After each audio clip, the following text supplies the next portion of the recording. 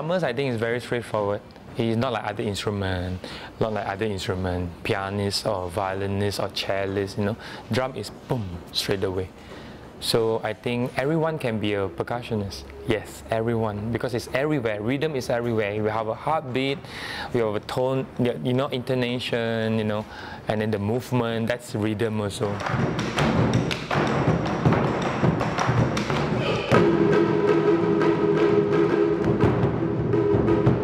Percussion, my company, actually want to push it to another limit is me, myself, and my group of, uh, uh, we say, core team members, we want to make this into a very Malaysian base.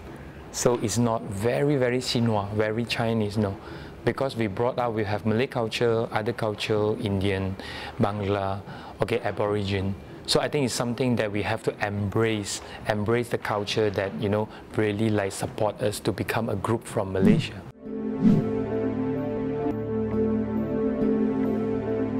People ask me, where do you get your, you know, who inspired you or books, magazine? I said, usually uh, lifestyle. I like to see, watch people and listen to people what they say. And uh, I go back home and think. And uh, because I have a fashion background, that's why that when I do a photo shoot, I direct. Uh, not necessary that I had to pick a beautiful clothes. But definitely model, yes. But sometimes, mostly I make them ugly, you know. Picture, they have uh, uh, maybe 60% uh, ugly thing. There are something beautiful thing, maybe beautiful color, uh, beautiful clothes, or a beautiful model, you know, or beautiful pose. So I inject fashion to it, so it become not so ugly.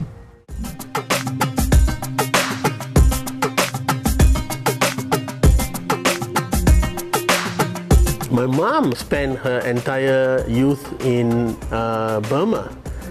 So she has brought a lot of Burmese uh, recipes, you know. So, and she has passed that on down to Meeta. So you will find that a lot of Malaysians have got a lot of different ethnic uh, backgrounds and influences in their being, you know. Coming to Malaysia is about uh, experiencing people.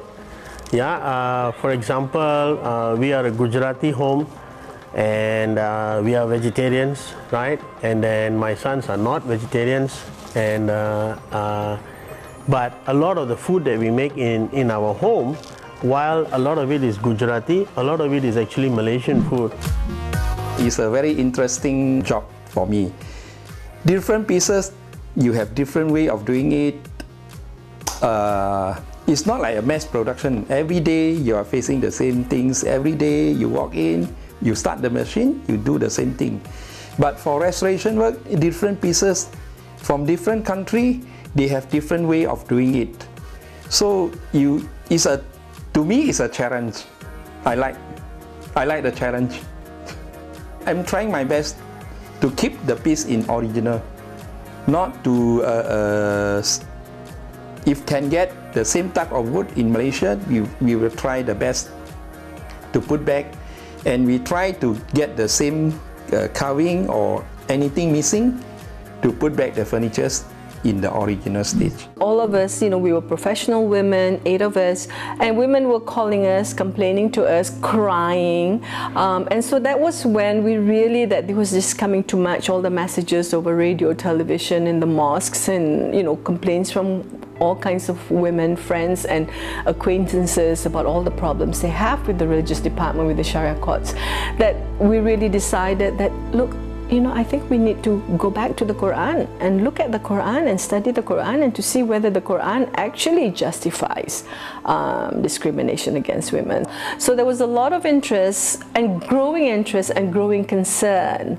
You know, of course, there were women's groups. Um, that were opposed to the work that we do. Muslim women who were, who were opposed to the work that we do because they felt that Islam has no role to play um, in public life. Religion is private. But how can religion be private when religion is a source of law in your country? How can you say it's a private matter? When I'm young, really young, like probably about six or seven years old, I follow my grandmothers a lot. And uh, from uh, that old times, uh, they are wearing the kebaya. Kebaya is uh, Malaysia traditional wear. The design is there, but um, the motif, the embroidery, the colors, she created herself. It inspired me a lot. After, I mean, it's not a big fight, but some uh, what I call arguments with my dad. He said, okay, fine, if you want to go into art scene, but it's no fashion. Had to be graphic or interior design. It's more like stable. Then I said, okay, it's fine, at least I can go into art school. So I went for the first semester, because first semester is a basic, everyone learn the same thing. But the second semester, you have to be more focused. So I changed to fashion design, fashion design and textile without telling them. But the result of the our project have to send back for the parents to sign. So anyway, I told them that I've changed the subject to fashion design and my dad said, okay, since you are keen what you want to be, then you go ahead and there's no regret.